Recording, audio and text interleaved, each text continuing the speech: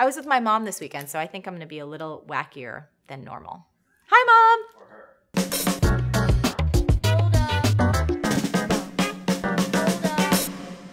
Hey, it's Marie Forleo, and you are watching Marie TV, the place to be to create a business and a life that you love. And this is Q&A Tuesday, and today's question comes from Miss Evelyn, and Evelyn writes, Hi Marie, after watching all your recent videos, I've been thinking a lot about the strong sense of trust you create in your business. Through free phone calls, videos, and newsletters, you come across as a genuine friend and a funny one at that, who we can rely on to pursue our dreams. As an artist, it's crucial for me to communicate this same sense of trust to potential clients in order to get more commission work. However, I'm struggling with where to begin. Since I can't really offer full refunds once I put paint to canvas, I feel like I'm a step behind in the please trust me game. So, my question is what are some steps I can take to communicate a genuine sense of trust to appeal to potential clients? Thank you for your time, Evelyn. Great question, Evelyn.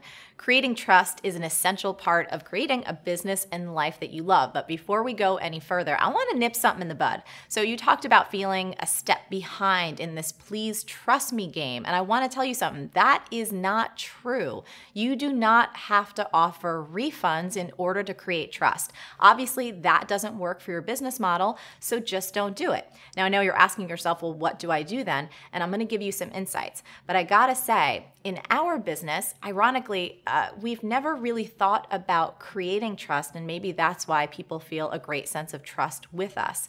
There's no formula to follow, there's nothing really strategic we do besides be really honest, be really transparent, and only do and say what we believe in. So, all that being said, here are two principles that can help you inspire trust in your customers. Number one is be true to you. So, in my company and on this show, we only do things that we really believe in. We only say things that we can stand behind. And in my own life, both in the business and personally, if I don't feel it, I don't do it. And if I don't believe in it, I don't say it. Bottom line is, I don't pretend ever, except perhaps maybe when I'm playing Smurf Kingdom.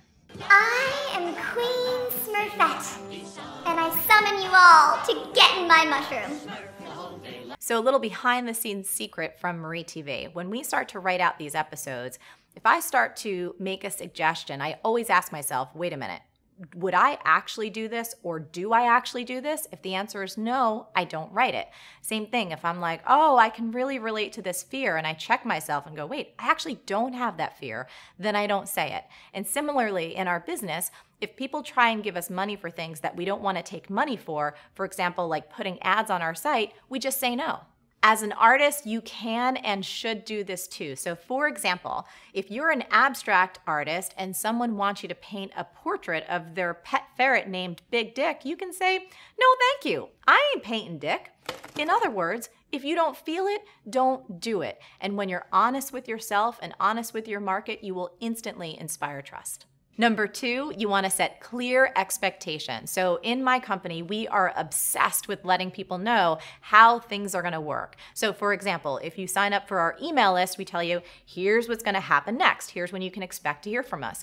If you sign up for B School, here's exactly what's going to happen next. We're going to walk you through the process. Same thing with a live event. We're always trying to let people know exactly what's going to happen next. What this does is remove fear and uncertainty and completely set set people at ease and it inspires trust.